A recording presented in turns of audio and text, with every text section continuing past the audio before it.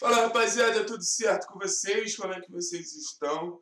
Para encerrar o dia, o último vídeo do dia, a gente vai falar de uma situação que eu acho que vem acontecendo uma grande injustiça. Muita gente vem reclamando do, da produção ofensiva do Atlético, que o Atlético não consegue fazer gols, que os jogadores da frente não dão uma resposta. Muita gente dando graças a Deus que o Ravanelli chegou para ter um articulador ali, que o Atlético ainda não tem, nem no elenco, não é no time titular, é no elenco. O Atlético fez um elenco sem um cara para pensar o jogo, para ditar o ritmo, para tocar, passar, parar, pensar, frear, achar os melhores caminhos. E o Ravanelli chegou só em setembro. Mas, cara, a gente precisa falar um pouco da defesa do Atlético. Né?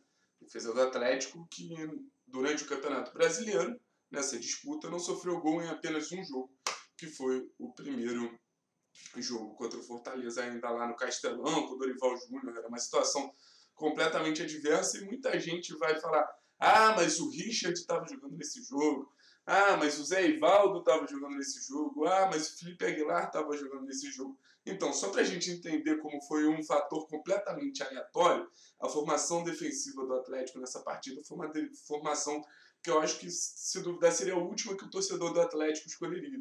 Mas vamos lá. O Atlético na última temporada, tinha uma zaga firme ali em vários momentos com Halter e Bambu, Léo Pereira dava seus mods, teve o Thiago é, Eliano voltando no finalzinho, mas cara, o que deixava a defesa forte do Atlético ano passado, fez do Santos um dos melhores goleiros do Brasil, fez um time bom de mata-mata, e para o time ser bom de mata-mata é, precisa ter uma defesa minimamente sólida, não foi a qualidade de um zagueiro específico ou de outro zagueiro específico, foi o mecanismo defensivo o sistema defensivo, quanto os jogadores se comprometiam na marcação. E é uma situação que eu nem, não venho vendo em 2020. O gol do, do Vasco contra o Atlético mostra também uma certa passividade em relação aos ataques adversários. No gol do Botafogo foi uma bobeira sem tamanho, ali o chute do Alvarado da mesma maneira que foi uma bobeira sem tamanho o gol que o Palmeiras fez. Estou pegando exemplos aqui. Os gols do Santos, onde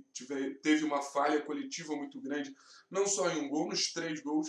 Então, se a gente for pegar gol por gol, gol contra da Aguilar, a gente vai reparar duas situações. Uma, a defesa é muito exposta. A defesa do Atlético hoje é muito exposta e a gente já jogou com dois volantes, já jogou com o Richard, já jogou com Wellington, mas não adianta se os jogadores lá da frente não começarem a fazer uma boa pressão, vai sobrar lá para trás. E a recomposição defensiva é muito lenta. Então você tem dois problemas muito crônicos. Um, sua pressão não funciona. O time adversário consegue quebrar linhas muito fácil e chegar até o gol do Atlético, seja por dentro ou seja por fora. Eu falo por fora, por exemplo, o gol impedido ontem do Botafogo foi um lançamento por fora da defesa, o cara conseguiu chegar, rolar para trás, gol. E por dentro também, o Atlético já sofreu alguns gols com o time adversário jogando por dentro. Então a gente vê que essa falta de proteção parte do time inteiro.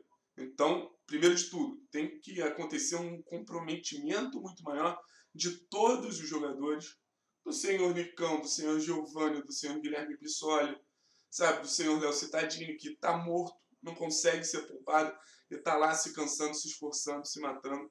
E a defesa do Atlético vem sofrendo muito com isso. Então, essa pressão ineficaz e a falta de recomposição, a falta de um ponta ajudar um lateral, a falta de um volante fazer a cobertura de um lateral, de um zagueiro, a gente vê que o Atlético vem sofrendo e vem sofrendo bastante. E era algo que eu já vinha falando. É, se, a, se a defesa do Atlético não der conta, o Atlético vai sofrer muito nesse campeonato, vai ser um time muito irregular, porque lá na frente a reformulação é muito maior. O Atlético se reforçou mais atrás, o Atlético perdeu menos peças atrás do que lá no sistema ofensivo.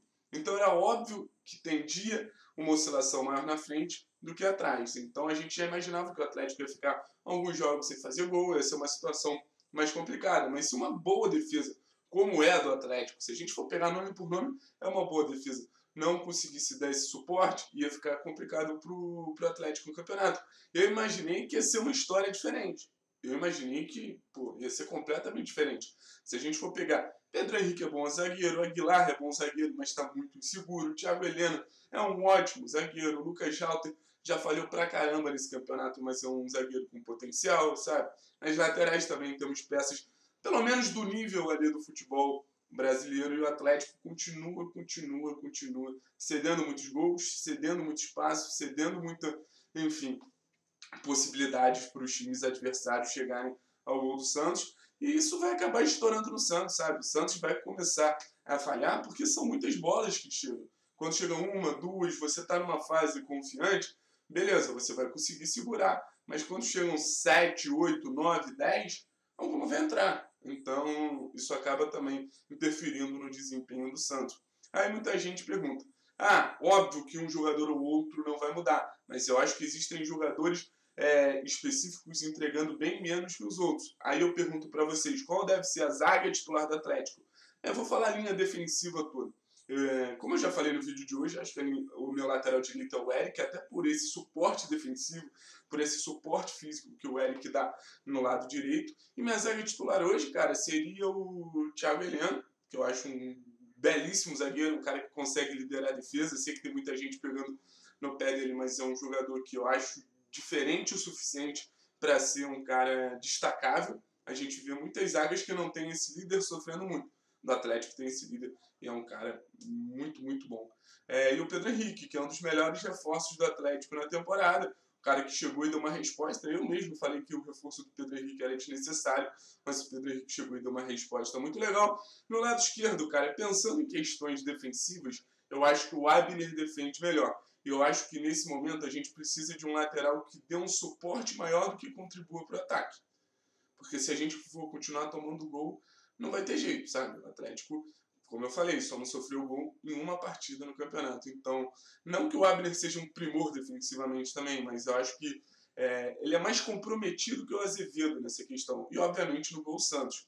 Então, acho uma linha de defesa mais equilibrada e também explorando o melhor momento, né? A gente tem que levar em consideração que nesse momento de queda de confiança surreal, a gente vê que é uma situação que a gente precisa entender quem está melhor ali, quem está mais confiante, tipo disputa de pênalti, assim. Porque o Atlético agora vive uma situação, é quase loteria. Porque o Atlético está precisando ganhar desesperadamente. Desesperadamente, a vitória não vem, assim. Então, é apostar em quem está melhor, é apostar em quem está mais confiante, como o Eduardo falou, não poupar ninguém. E esse Atletiba vai ser um Atletiba muito, muito, muito, muito, muito relevante para o jogo da Bolívia, para o jogo contra o Jorge Wilstermann, que semana que vem já tem Libertadores, né, gente? Pois é, situação complicada, o time nessa situação, isso só mostra como esse Atletiba, enfim, vai ter que ser o jogo da resposta, vai ter que ser o jogo do acorda, vai ter que ser o jogo do start, desse elenco todo do Atlético, não só da defesa. Beleza, pessoal? Tamo junto, é nóis!